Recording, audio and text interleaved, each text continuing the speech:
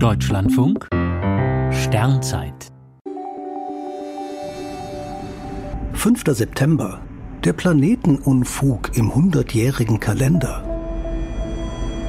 Im 17. Jahrhundert entwickelte ein Abt den Calendarium Ökonomicum Perpetuum Practicum, den dauerhaften Wirtschaftskalender.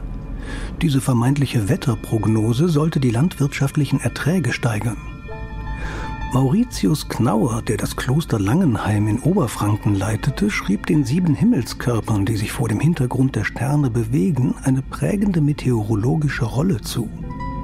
Für die Kirche zählten damals neben Merkur, Venus, Mars, Jupiter und Saturn auch Sonne und Mond zu den Planeten.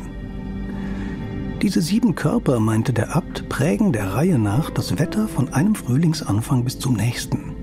Demnach genügt es, sieben Jahre lang das Wetter aufzuzeichnen, dann sollte sich dieser Siebenjahreszyklus immer wiederholen.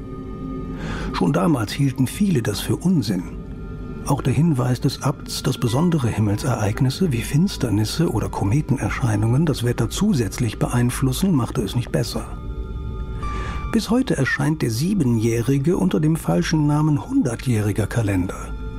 Sollte in den kommenden Tagen schönes Wetter herrschen, so liegt das garantiert nicht, wie behauptet, am Planeten Mars. Denn Mond und Planeten haben keinen Einfluss auf unser Wettergeschehen, wohl aber die Sonne, die mit ihrer Strahlung die Wettermaschine in der Atmosphäre antreibt.